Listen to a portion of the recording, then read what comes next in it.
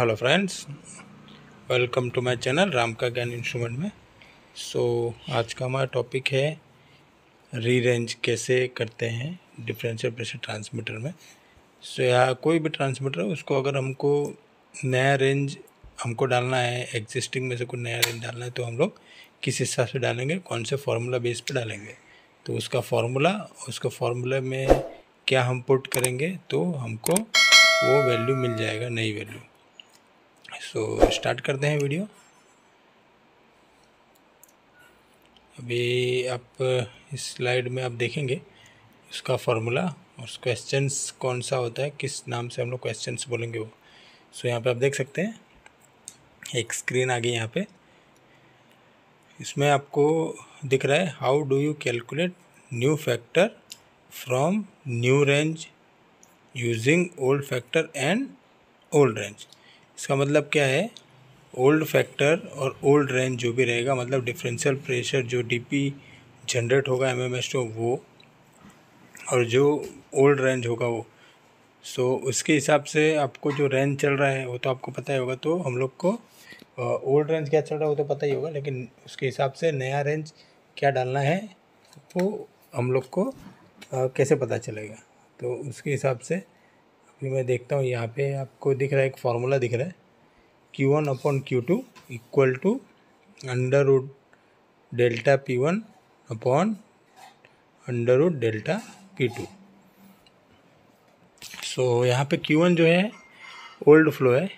Q two आपका new flow और under root में डेल्टा पी वन क्या है? ओल्ड डी पी और under root delta P two में new D P it means old flow जो आपका स्क्वायर रूट से हम लोग जो भी डिफरेंशियल प्रेशर शो करते हैं तो ओल्ड फ्लो क्या चल रहा है? कितना के जी पर आवर चल रहा है? और नए में आपको कितना के जी पर आवर चाहिए? सो ओल्ड फ्लो के हिसाब से कितना डीपी जनरेट हुआ था वो तो उसके हिसाब से नया डीपी क्या होगा? सो so, यहाँ पर हम लोग क्यू टू हम लोग क्रॉस करके देखेंगे तो क्यू टू इक्वल टू क्या हो जाएगा? Q one into under root delta P two upon under root delta P one so यहाँ पे न्यू फ्लो निकालने के लिए हम लोग को क्या चाहिए? Q one equal to old flow और इनटू करके न्यू डीपी जो भी न्यू डिफरेंशियल प्रेशर जो हम लोग को देना है कि भाई इतना, जैसे 2000 पहले एम एम एस चढ़ा था, उसको मेरे को 2500 कर देना है कि भाई मुझे 2500 अब यहाँ पर डिफरेंशियल प्रेशर जनरेट होगा तो 2500 के हिसाब से कितना फ्लो मिलेगा? और अंडर रूट में ओल्ड डीपी जो ओल्ड डीपी जो अब था उसके हिसाब से मतलब ओल्ड फ्लो के हिसाब अगेंस्ट में ओल्ड डीपी जो था वो डाल देना है और न्यू डीपी जो जनरेट हुआ वो डाल देना है। तो आपको न्यू फ्लो यहाँ पे मिल जाएगा। सो नेक्स्ट स्लाइड में मैं आपको एक एग्जांपल के थ्रू भी आपको बता दूँगा। सो so, बहुत ही इम्पोर्टेंट फार्मूला है। ये बहुत ही इम्पोर्टेंट फार्मूला मतलब कोई भी इंडस्ट्री में आपको रीरेंज हमेशा करना ही पड़ता है। सो so, रीरेंज करने के लिए आप यहाँ पे ये फार्मूला यूज़ कर सकते हैं। इसमें हम कोई भी कुछ भी निकाल सकते हैं। ओल्ड फ्लो निकालना है या न्यू आपको डी पी निकालना है या तो न्यू फ्लो निकालना है। जो भी आपकी रिक्वायरमेंट हो, उसके हिसाब से आप यहाँ पे निकाल सकते हैं। ये फार्मूला के हिसाब से तो फार्मूला याद कर लीजिए। Q one upon Q two equal to under root में delta P one upon under root delta P delta P two Q one आपका क्या है? क्यू वन क्यू वन और P one Q one P one Q one P one आप याद कर लीजिए कि ओल्ड वाला है। तो ओल्ड वाला ऊपर आएगा और नीचे वाला क्यू टू पी टू जो लिखा है वो आपका क्या आएगा? नीचे की साइड आएगा न्यू वाला। तो ध्यान रख लीजिए Q one upon Q two old old divide by new old divide by new ऐसे करके आप याद कर लीजिए। तो एक एग्जांपल देख लेते हैं यहाँ पे कि Q one upon Q two equal to under root delta P one upon under root delta P two so यहाँ पे मैं क्यू वन कितना लिया हूँ? आठ हज़ार के जी पर आवर का मेरा ओल्ड फ्लोरेट चल रहा है। सो क्यू टू हमको निकालना है कि नया फ्लोरेट क्या होगा? So delta P one Q one P one it means आपको ओल्ड जो मैंने आपको बताया ओल्ड क्या चल रहा था? तो दो हज़ार मेरा M M S two it means दो हज़ार एम एम एस टू का जब मैं ट्वेंटी मिली एम्पेयर्स मतलब फुल डिफरेंशियल प्रेशर जनरेट होगा तो कितना आपको फ्लो दिखाएगा? आठ हज़ार के जी पर ओवर अभी मेरे को, अभी मुझे इसका डिफरेंशियल प्रेशर मैंने आपको यहाँ पे बढ़ा दिया है कि भाई मैंने दो हज़ार पे मेरा 800 जी पर आवर मिल रहा था। अभी मैंने डिफरेंशियल प्रेशर यहाँ पे मैंने क्या किया? बढ़ा दिया है। 2000 से कितना कर दिया? 3000 कर दिया सो जब 3000 का डिफरेंशियल प्रेशर जनरेट होगा, तब कितना फ्लो मुझे मिलेगा? तो उसका कैलकुलेशन के लिए अभी मैंने आपको बताया था कि क्यू टू इक्वल टू क्या था? Q one into under root में delta P upon delta P one it's means Q one it means old flow वहाँ पे डाल देना है।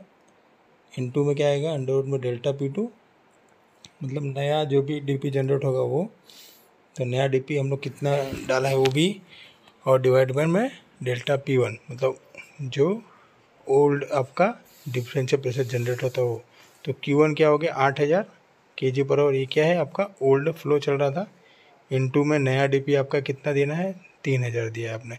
कि नया डीपी जनरेट होगा तो नया फ्लो कितना मिलेगा? तो तीन हज़ार। डिवाइड में मैं आपका क्या गया? ओल्ड डीपी जो डिफरेंशियल प्रेशर ओल्ड जनरेट हो रहा था वो तो ओल्ड कितना था? दो हज़ार। So eight thousand into three thousand divide by two thousand कितना हो जाएगा? बारह हज़ार। इट मीन्स आपका क्यू टू कितना हो जाएगा? बारह सौ, बारह हज़ार के जी पर ओवर मतलब इतना आपका फ्लो जनरेट होगा। आप तो समझ गए होगे इस फॉर्मूला का।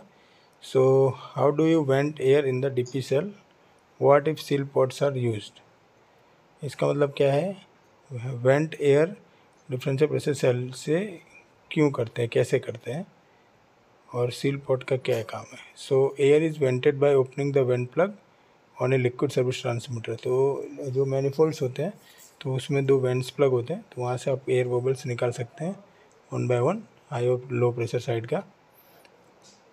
और what if seal pots are use on services where seal pots are use isolate the primary isolation valve and open the vent valve मतलब सील पॉट का यूज़ सर्विस में तब कर कैसे करना है?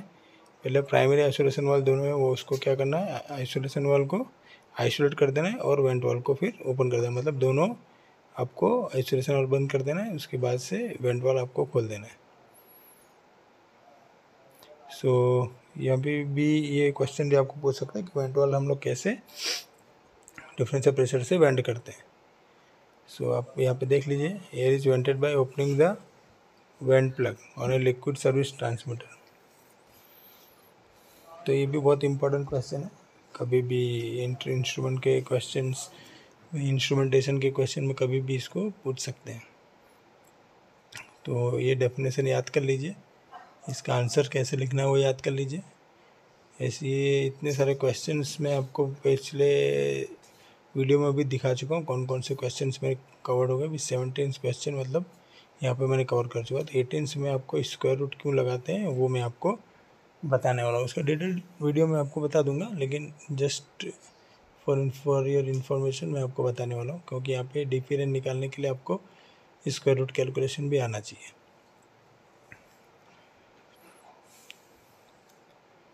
सो so, यहाँ पे देख सकते हैं why flow is measured in square root so जो हमारा डिफरेंशियल प्रेशर होता है वो क्या होता है? स्क्वायर रूट जो भी फ्लो होता है, हमारा क्या होता है? स्क्वायर रूट में होता है। अंडर रूट डिफरेंशियल प्रेशर जो होगा, वो स्क्वायर रूट में होता है।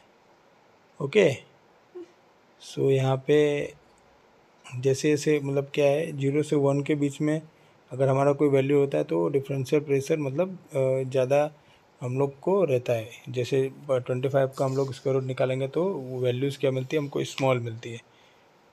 ट्वेंटी फाइव का फाइव मिलता है ओके ना? उसके हिसाब से हंड्रेड का फिफ्टी मिलता है। उसके हिसाब से जैसे भी हम लोग जैसे जैसे स्क्वायर रूट बढ़ाते जाते चार का कितना? दो निकलता है स्क्वायर रूट नाइन का, जैसे, वैसे ही ज़ीरो से वन के बीच में अगर हम करते हैं तो स्क्वायर रूट मतलब स्मॉल डीपी जब जनरेट होता है तो क्या हो जाता है? फ्लो आपको ज़्यादा मिलता है। तो उसके हिसाब से यहाँ पे एक फार्मूला डिसाइड करते हैं कि उस फोर मिली एम्पेयर पे फोर मिलेगा एट पे ट्वेल्व मिली एम्पेयर का जनरेट होगा ट्वेल्व पे फिफ्टीन और 16 पे 17.86 मिली एम्पेयर जनरेट होगा 20 पे 20 मिली एम्पेयर इसका डिटेल वीडियो मैं आपको बता दूँगा। इट मीन्स मतलब स्क्वायर रूट का मतलब यही है कि मेजर इन स्क्वायर रूट में इसलिए करते हैं कि ज़ीरो से वन का जो वैल्यूज़ जो होता है, उसका अगर हम स्क्वायर रूट निकालते हैं तो उससे बड़ी वैल्यू मिलती है। इस वजह से हम लोग को स्क्वायर रूट लेना पड़ता है। यहाँ पर डेफिनेशन में देख सकते हैं कि आपका flow varies directly as the square root of differential pressure Q is equal to under root में डेल्टा भी ऐसा भी आप लिख सकते हैं। सो so, इस वीडियो में हम लोग ने रीरेंज करना आपको सिखाया कि अगर हमके पास ओल्ड फ्लो है न्यू फ्लो या ओल्ड डीपी है तो नई डीपी कैसे निकालना है? कैसे भी आप निकाल सकते हो। स्क्वायर रूट क्यों लगाते हैं हम लोग? और उसमें फ्रंट प्लग का क्या काम होता है? डिफरेंशियल प्रेशर ट्रांसफ़र तो ये तीन क्वेश्चंस मैंने इस टॉपिक में कवर किए ऐसे यूज़फुल क्वेश्चंस मैं आपको आगे बताता रहूँगा आंसर के साथ में। सो हमारे चैनल के साथ जुड़े रहने धन्यवाद। लाइक करें शेयर करें सब्सक्राइब करें।